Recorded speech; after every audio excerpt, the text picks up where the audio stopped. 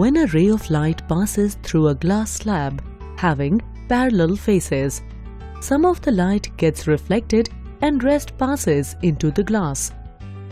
Light bends in one direction as it enters the block and another as it leaves the block.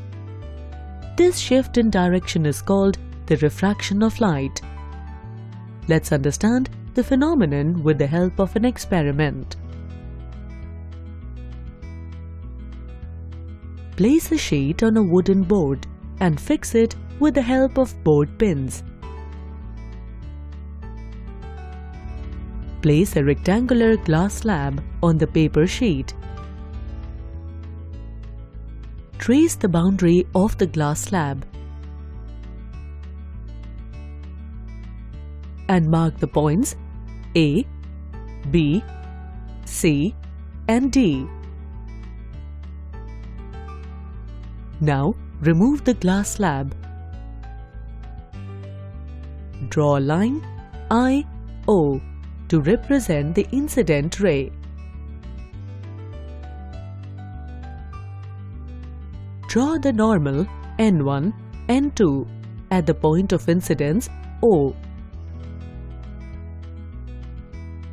Fix two pins on the incident ray IO.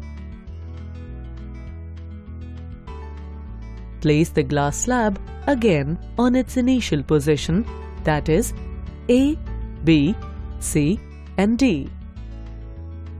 Looking from the other side, CD, fix two pins such that all the four pins lie in straight line.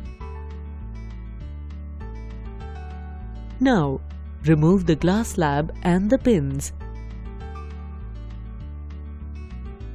Mark the pin points P1, P2, P3 and P4.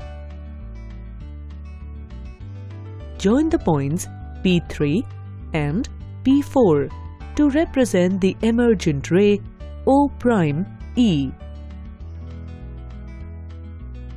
Join O O prime.